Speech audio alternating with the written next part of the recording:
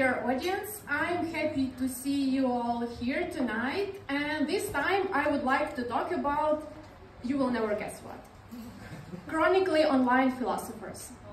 I guess you're all confused right now, but I can explain myself. So, I happen to be a philosopher, but not an alcoholic, not a poet, not a madman, not a village idiot or something like that, but a normal one by my education.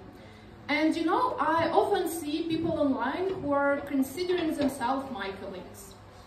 So let's start with the most common category and presented by the all age groups, namely Marxist-Leninists.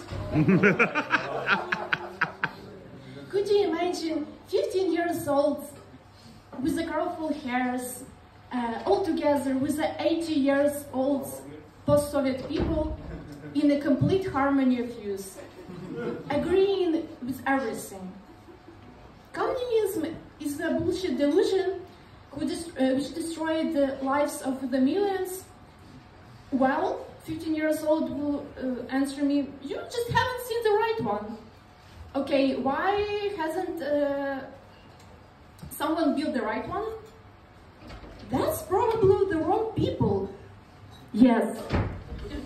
That's why all the wrong people should be sent to Gulag. And then the right one will finally get the job done. According to Marx and Engels, during the communist era should be no money circulation. And you know, usually these people, they're not very successful in earning money, so I guess they're one foot in. And let's talk about their opponents, the traditionalists. These nice people, these innocent souls who praise tradition, who think that tradition is everything and progress is evil, who are remembering these good old days with the true values when 90% uh, of people could not read and uh, all the women stayed at home. Despite the fact there are thousands of traditions in the world and uh, sometimes they're conflicting with each, each, other. For example, God do not understand German. If you'll be praying to God in German, he will tell you to go fuck yourself. so you need only use Latin. Just look at these innocent souls who are not even capable of doing evil despite the fact of thousand years of religious wars.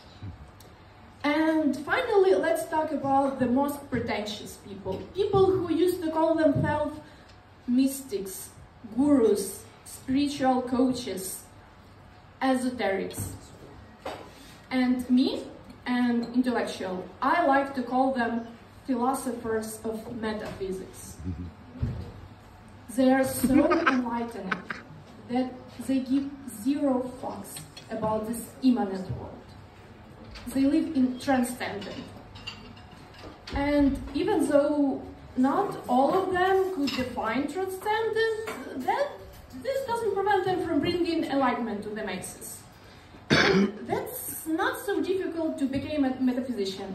Just two months retreat to Bali, and you know everything, and sometimes one mushroom session with shaman is enough. I hope I enlightened you too today. Thank you for your attention, and